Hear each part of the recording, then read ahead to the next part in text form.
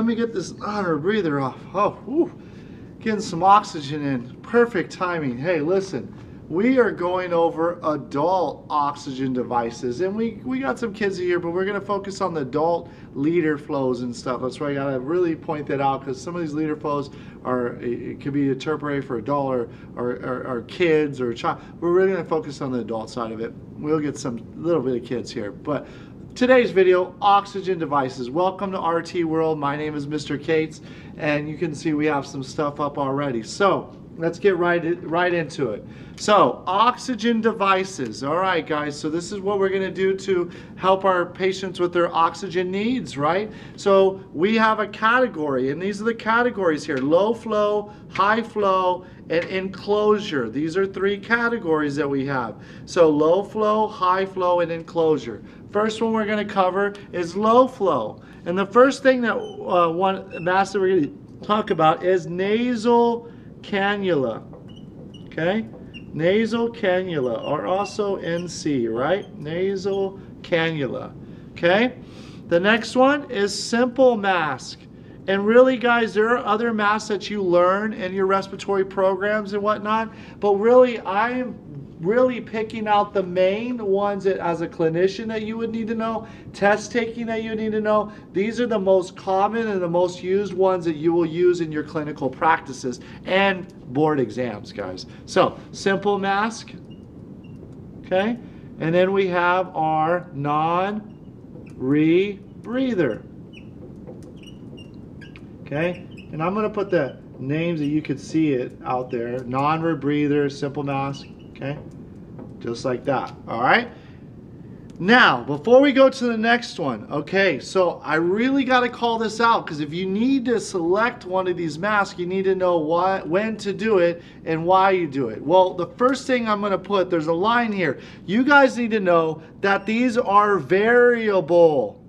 They're not precise, guys. They're not identical. Like, if you say it's 28% FiO2, it's not a guarantee. These are estimated. These are approximates. They are variable because there's different factors like in a nasal cannula. How much cannula of those prongs fill up your nares? If it's complete and your mouth is closed, you might be getting way more. But if there's a there's a space which is supposed to be about half the nares, proper fitting, then you should get closer to the, the uh, estimates that they have. But I need to call that out. It is not a precise. When you're giving 28% nasal cannula, it might not be 28%. It's an estimate. So we do not chart it in percentage of FiO2. We would chart this in liter flow, okay? That's one caveat here. So if we took this, this would be oh, the percentages is what we're going to talk about now is on our nasal cannula, we can achieve adult ranges, guys, 24% to 40%. Okay? 24 to 40%. And I've breaking or we've breaking down this nasal cannula a little bit and we have a sole video. So if you haven't watched that before you watch this one that will go solely in the nasal cannula highly suggest that you click over that video after you continue to watch this one or click there and come back whatever. But we have that nasal cannula video out there. And that will break down the liter flow and it'll simplify that for you okay? So we're in this video, we're just going to unpack all of them here. So nasal cannula, 24% to 40% adult liter flows. And what those liter flows we're going to look at is a 2 liters up to 6 liters. Okay, and that is a minute per minute. Okay? 2 liters to 6 liters on your on your um, on your flow meters, guys, with the nasal cannula, okay? And so, what is that nasal cannula? Well, there's a picture. That's a nasal cannula. You should all know that. Prongs pointed down like snake bites, right here, around the ear, choking, just as you see the placement on this picture. And then you set your liter flow from 2 liters to 6 liters, and you're going to possibly achieve in that FiO2 range, okay? So that would be your lowest output, right, of, of oxygen that we have in these devices right now. Our second one is our simple mask, okay? And on our simple mask, we are looking to achieve about 35 to 50% FiO2. And our liter flow on this one is five liter minimum, five liters. Okay? All right? So, simple math, right, guys? Five to, um, I've got to complete. Sorry, I didn't just realize. Five liters per minute. Five to 10 liters per minute. Okay? All right, and on this one, guys, on the simple mask, it's a minimum of five liters. Why? Because, let me show you here, guys, what the simple mask looks like. And if you don't recall, then I'll show you right here. Let me just bring this up. All right, so we're looking at simple mask. This is a simple mask. There is no reservoir bag on there. You see that? We have these exhal exhalation ports. So a minimum of five liters, and they might ask you that, and I'm pretty sure they, they ask it. If you haven't, you probably heard it before. A minimum of five liters. Why? That is to what? To flush out the CO2 so you don't rebreathe the CO2 that could be trapped in that mask through those exhalation ports. So you uh, increase the liter flow to a minimum of five liters, it will push out that CO2 and you won't have any problems rebreathing that CO2. But again, this is now, if you took this at first level, right, the lowest level, and then you go to simple mask, this would be your mid-level, your medium range. You see that?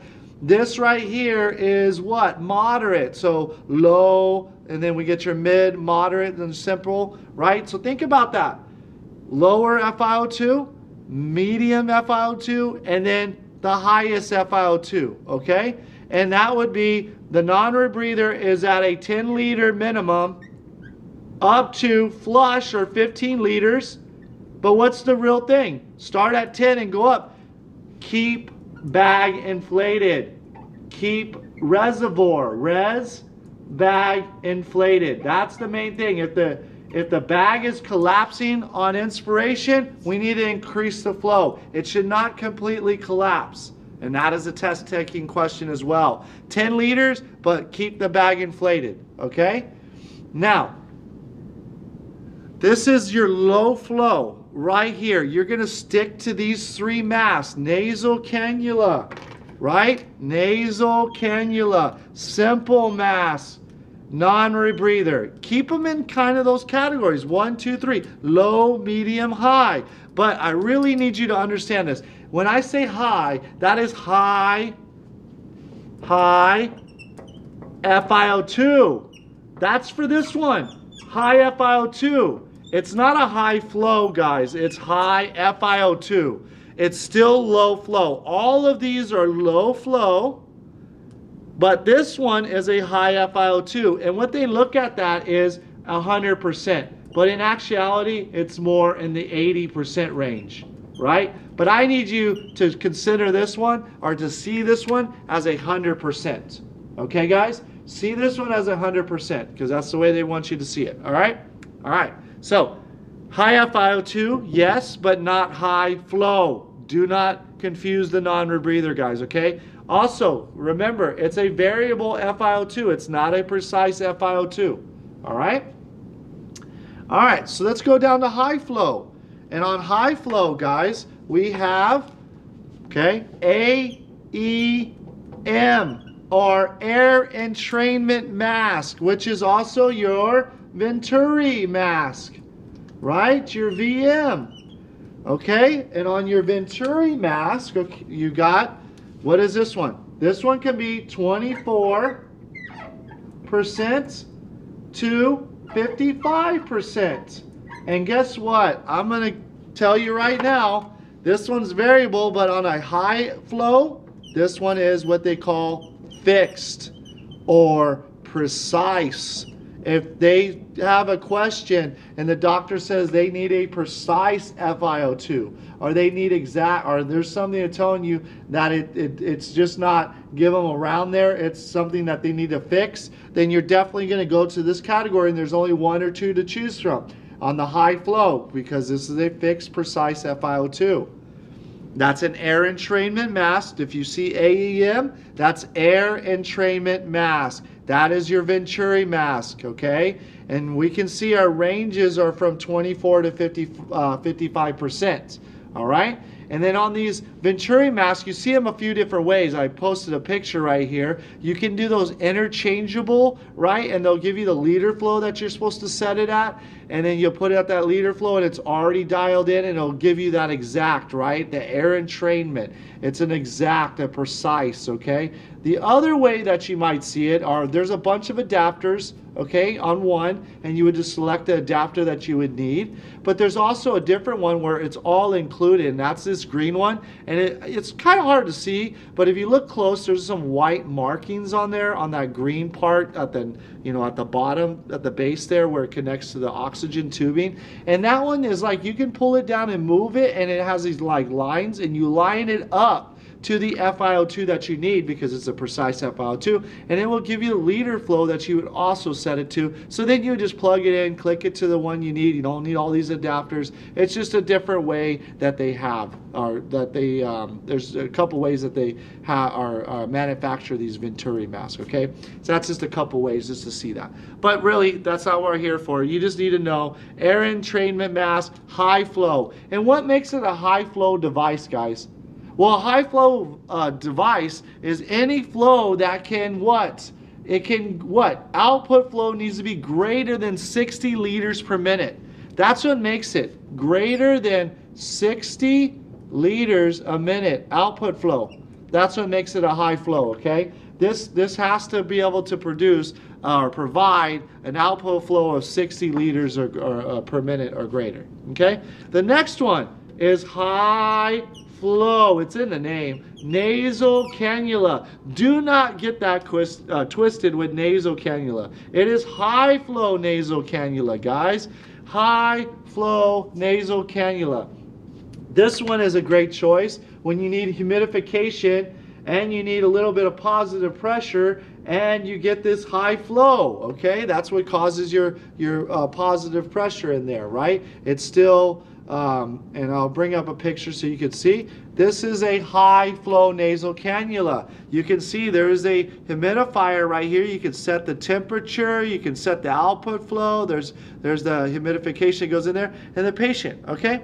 So before we move anything, right, non-rebreather, I'm just gonna kind of go back and forth, but I really want you to know this is not about the flows at this point. The air entrainment mask, that's a mask. Anything that's a mask if they present this in a way on your NBRC where the patient needs to be able to eat or anything like that, you got to go to the cannula level. That's the positive things on those cannulas. High flow or nasal cannula, you can still eat with those on. Okay? The other ones are uncomfortable, can cause some claustrophobic or phobia if, that, if the patient feels that way, and a, a, nasal cannula might be your selection for that. Okay? Just to make sure that you're on track and that you guys know that. That's another thing that you could see on oxygen devices. All right? High flow nasal cannula. The thing with the high flow nasal cannula, guys, and I'll put this here, this one could be 35% to 100. And here's the thing, it's fixed and precise, guys. You can get up to 35 to 100% on a high flow nasal cannula, guys, okay? All right. And, and like I said, that's the big thing is variable, fixed, precise. Keep these in those orders, right? Low, medium, high, but we're talking about FiO2 down here, precise FiO2, and we kind of have the lower, right, mid, or low to mid, and then we have, which we really say mid to high. You see the coverages? That's why you select these devices, and we only talk about these devices because they cover the low, medium, high, low, medium, medium, high. You see that? Very good. All right. So let's get into our enclosures here. Our enclosure is the first one we're going to talk about, okay? And we're going to talk about is the oxy hood. And these ones right here, guys, um, are these are going to be neonates. These are going to be a neonatal. All adults, and then we come down here. Oxy hood, and then the last one that we're going to talk about is our isolette. Okay? Our isolette. Okay? All right, let's leave it like that. Now, the thing with this is, we got to know this, okay?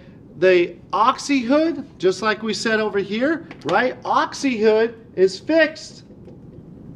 Okay? This one is a variable. Isolette is a variable, okay? So we really need to know that this one's a variable and this is a fix. That's why we select this, okay? So then going back on this, we go oxyhood. What are we looking at on oxyhood? Oxyhood right here, it could be 21% to 100%. And what do we say? Fixed. Okay? On this one, we are looking at 40% to 50% FiO2. And we know this is variable. Variable. Okay? And this one is, this one's uh, grade 2 equals 7 liters a minute. That's what the flow is. And then on this one, you're going to do 8 to 15 liters a minute. Okay? For the isolette. All right, guys. So that is oxygen devices. Okay? So I really want to just make sure that you know this is the order of operation for test taking. This is the way that you'll see it. The couple little caveats that you need to know. Nasal cannula, watch that separate video. Simple mask, it does not have a reservoir. Keep it at 5 liters to flush out CO2 minimum. It's the medium category or the mid-level. Non-rebreather, look at it at 100% as it's 100%. But we know that it's a variable, so we know. Right, start at 10 liters but you can increase or inflate the bag if you see it collapse. Keep bag inflated okay? That's your high FiO2. Low flow, variable, three masks to look at. High flow, air entrainment mask, low to medium. Uh, high flow nasal cannula, medium to high. Fixed or precise FiO2, there's only two to choose from. High flow, high flow, 60 liters per minute uh, or more. All right, that's what considered a high flow fixed. Enclosures, fixed. There's only one. Oxyhood. So if we're seeing this with the neonate, you need to select the oxyhood if it's precise or fixed. We need to achieve 21. That's the whole caveat. From very low to all the way, 100%. We want to be around 7 liters per minute on that. Then you got an isolette. We need to know that's variable, okay? 40 to 50% achievement, and we're looking at 8 to 15 liters in that isolette. That's for your enclosures. All right, guys, so these are the main, uh, these are the ones you really need to dial in, guys, for oxygen devices. So I really, really hope that you go through this video, you dial these in, because you will definitely see those. You need to know when to select what mask and what flow and whatnot, okay? So, again, my name is Mr. Cates. Thank you for watching. I hope to see you at the nasal cannula video.